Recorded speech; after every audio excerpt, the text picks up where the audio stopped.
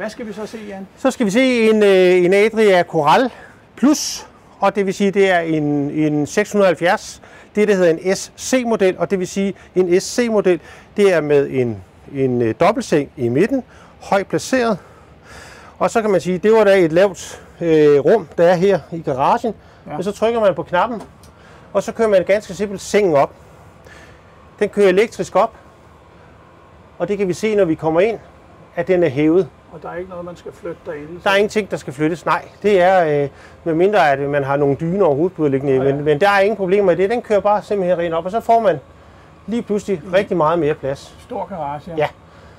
Og det kan så, være godt til både barnevogn og cykler og alt muligt. Ja, fordi når man så kommer frem, sådan der. Ja, så er der god plads. Ja, og så er der plads til reservehjul. Ja. ja.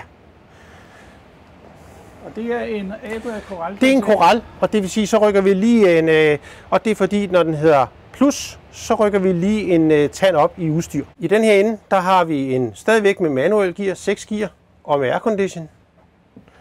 Vognen er naturligvis udstyret med ESP og Traction Plus kontrol.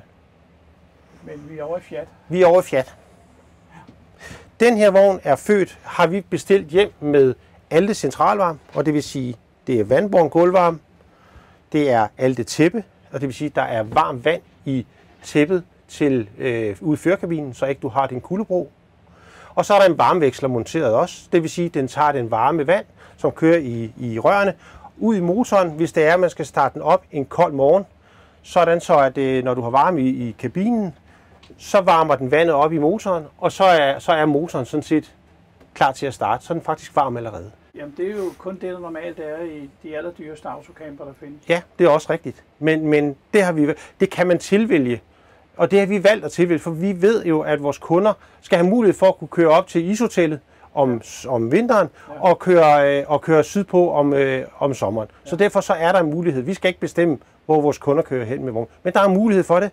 Øhm, og der kunne jo også være kunder, som har haft en Adra eller Detlef Tosja, der havde centralparm. Ja som tænker, det skal vi da også have i. Jeg har faktisk en kunde, som har, som har en morgen, som, som er vant til, og som var lidt overrasket over, at, der faktisk, at det faktisk også er i Adria. Ja. Men, men, men de, er, de er rigtig godt med. Så taler vi om øh, fritstående, øh, hvad kalder vi det, Queensbed? Queensbedden, lige nøjagtigt, ja. Og nu er den jo kørt helt op i top. Ja. Øhm, så der kan min kone ikke komme op, kan Nej, og, og der er mulighed for, at man kan, øh, man, man har øh, en lille stige, og stille, og, og, så man kan komme op, hvis det er. Men ellers så er der, øh, så er der god aflæggerplads i de to skabe til hver sin side. Ja, det er meget praktisk. Man ja. har hver sit. Ja, det har man. Tror, og så har du jo en, øh, en dejlig stor øh, tavle, så du kan ligge og kigge stjerner. Ja, frisk luft. Frisk luft, ja. ja. Det ser rigtig gedint ud, og ja. centralvarme, det lyder rigtig, rigtig ja. tiltalende. Og det er noget, vi ved noget om, så derfor ja. så, øh, så er vi også trygge ved at handle med det, fordi vi, det kører bare.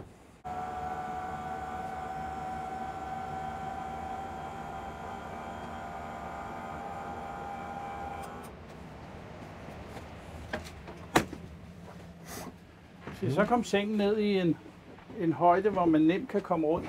Ja. Kan jeg se her. Ja.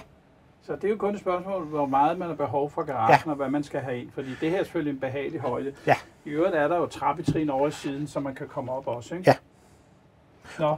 Og der har man jo den 140 liters store vandtank liggende nede under her. Ja. Øh, så den er godt placeret i forhold til... Den er over aksen. Ja. ja.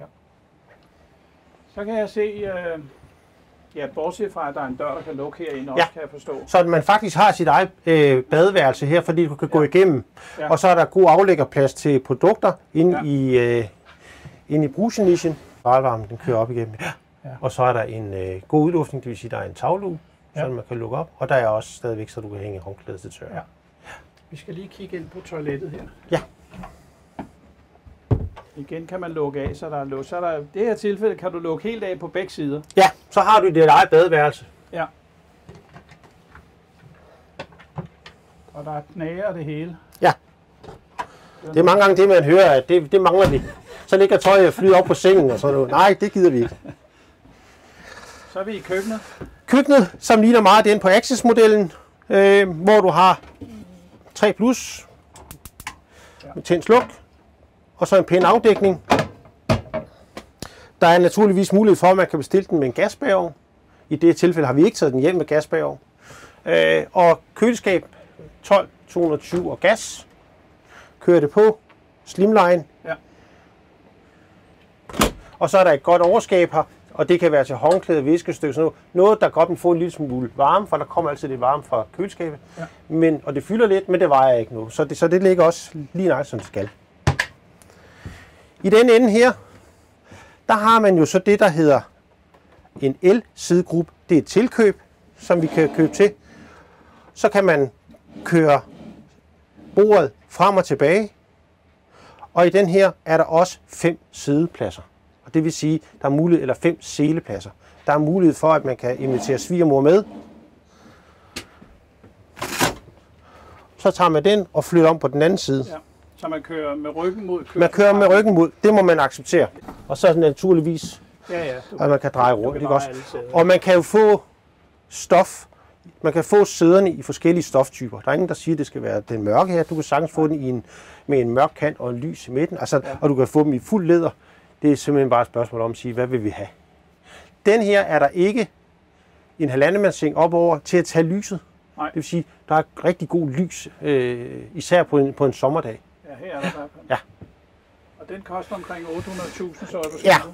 Herinde en lille feature, det er, hvis nu man øh, skal se fjernsyn, så kan man altså trække den her ud, den her ned, og så kan du have fjernsyn herinde under. Men er man nu ikke til at vil se fjernsyn, når man er på ferie, så lukker man bare op,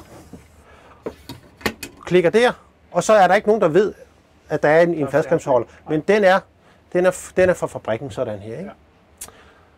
Så har vi øh, Alte kontrolpanelet, som vi kender det fra, fra campingvogn.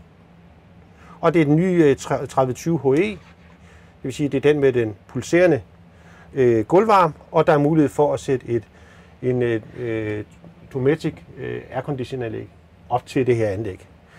Og så har man hele styrepanelet, som, øh, som er her, som man styrer med fingertouch, og det kan vi jo godt lide. Det er til at finde ud af. Ja, der kan man se, hvor meget vand der er ja. på det forskellige, ikke også? Ja. Og den her,